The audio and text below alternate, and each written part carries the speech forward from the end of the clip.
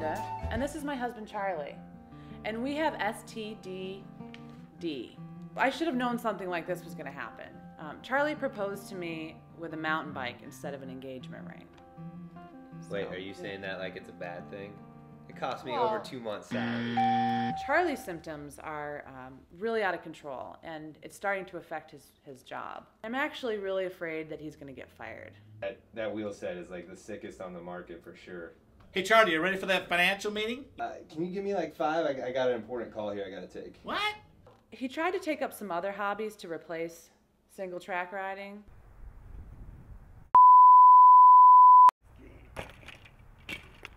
The hardest part of STDD is that there's no treatment facilities in this area.